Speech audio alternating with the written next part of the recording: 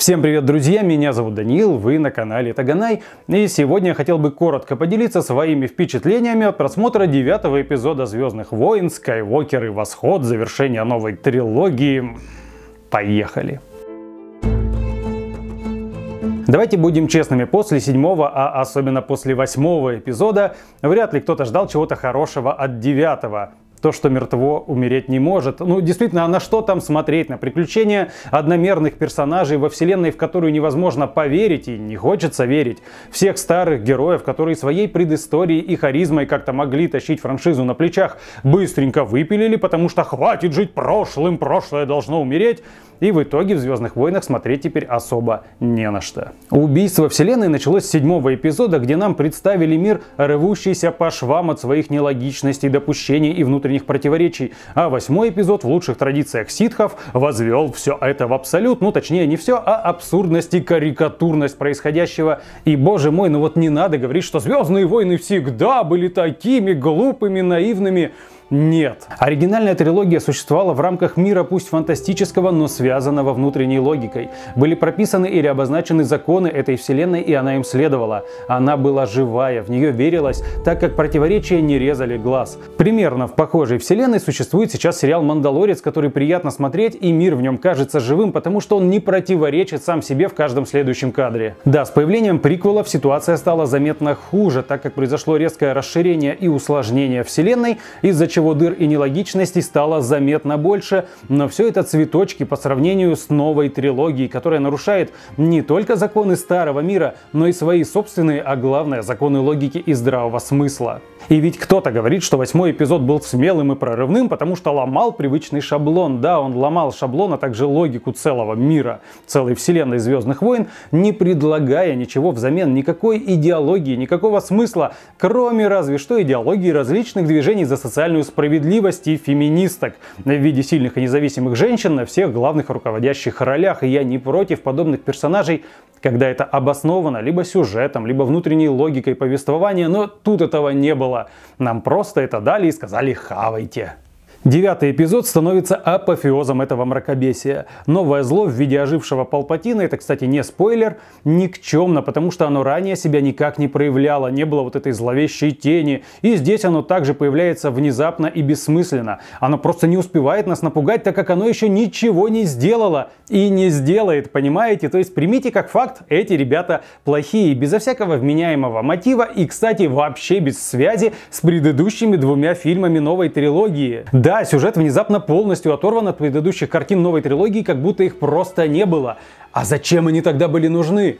Познакомить с вселенной и новыми персонажами? Ну, поздравляю, именно с этим они максимально облажались. Мне плевать на эту вселенную, мне плевать на этих персонажей. А на кого было не плевать, их быстренько слили. Ну, видимо, чтобы одеяло на себя не перетягивали. Новые герои трилогии пустышки. Они не растут, не развиваются, лишены конфликта и поэтому не вызывают никакой эмпатии. Да даже самому фильму они не нужны. Убери Фина из сюжета девятого эпизода, не изменится ничего. Вообще ничего. Если По как-то двигает сюжет, то Финн просто бегает рядом. Кстати, вспомните, в восьмом эпизоде была та же фигня, линия Фина вообще никуда не вела, ее можно было смело вырезать. Но, видимо, Финн существует в новой вселенной, потому что это э, не... Просто классный, интересный персонаж. Зато Рэй теперь уже не просто Мэри Сью, а практически какое-то божество в совершенстве овладевшее силой, способное исцелять прикосновением и даже воскрешать, а также противостоять мощи всех поколений ситхов. Как она овладела такой силой, как пришла к такой мудрости и самоконтролю? Да никак, ей просто все дается легко само, она же такая хорошая, милая, добрая девочка Рэй. Куда там ничтожному Люку, который, как оказалось, и Палпатина убить не смог, и Орден не возродил, а мужики, что они могут? То ли дело Рэй. Наш чемпион. Испытание темной стороной, гнев, нетерпение, страх. Там, где ломались или почти ломались персонажи всех предыдущих частей франшизы, Рэй просто нахмурит бровки и скажет «Я не такая». И все, победа света! Если Люк побеждал Императора через самопожертвование и принятие мучений за грехи своего отца в надежде пробудить в нем искры добра, то Рэй просто побеждает, потому что она сильная и добрая. Нет, не было ни долгого обучения, ни мудрых наставников, ни работы над собой и своими страстями. Это для никчемных мужиков, а умничкам девочкам все само дается. Единственный момент, создавший какой-то конфликт, я не буду спойлерить, это связано с Рэй и Чубаккой, тут же сливается и обнуляется. Тут же, буквально через пару секунд. Браво, Дисней! И в итоге все скатывается к какой-то дешевой супергероике, к комиксам Марвел, где джедаи это супергерои со сверхспособностями, а ситхи это сверхзлодеи, и вот в их противостоянии вершится судьба галактики. И вы скажете, ну оно всегда так и было. Да нет, нифига не было. Вспомните финал оригинальной трилогии, где Люк сражается с Императором по сути за душу своего отца. А судьба восстания, а соответственно и судьба всей галактики, решается в сражениях звездных флотов и в действиях диверсионной группы. То есть судьбу галактики вершат простые люди. А сражение супергероев и суперзлодеев по сути имеет гораздо более локальное значение.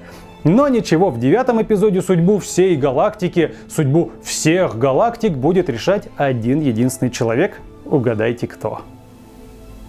А в итоге девятый эпизод просто скучно смотреть. Может показаться, что он затянут, хотя там все время что-то происходит, но это не интересно. Красиво, опять же, ничего особенного, я не понимаю визуальных восторгов. Видимо, их раздают по привычке. В последнем, вроде как эпичном бою, от обилия эффектов, молний, частиц и вспышек просто пестрит в глазах. А желание вместить в каждый кадр как можно больше кораблей, взрывов и экшена просто насмерть убивает какой-никакой реализм. Концовка – полный слив всего, то есть даже каких-то потенциально интересных моментов и персонажей, все слили, все запороли. Но на это, собственно говоря, плевать, лучше пойду посмотрю «Мандалорца».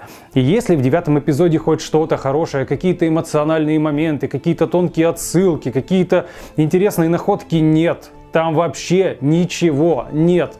Ничего, это просто пустышка. Ее можно посмотреть чисто ради зрелища. Ну, просто потому что она есть, просто потому что там хотя бы воюют на звездных мечах и Присутствует какая-никакая игрушечная мультяшная эпичность, но по сути новая трилогия, теперь уже можно сказать про нее целиком, это полная пустышка, это просто мыльный пузырь, который яркий, переливается всеми цветами радуги, но стоит ткнуть его иголочкой, он разлетится и ничего не останется, кроме дурного послевкусия и изгаженных судеб любимых героев, потому что то, что сделали с Люком, то, что сделали с Ханом Соло, то, что сделали с Леей, господи, лучше бы вообще не снимать про них продолжение, взяли бы что-то абсолютно новое для сюжета, потому что теперь фактически в канон вписано то, что их судьбы закончились вот так позорно и никчемно.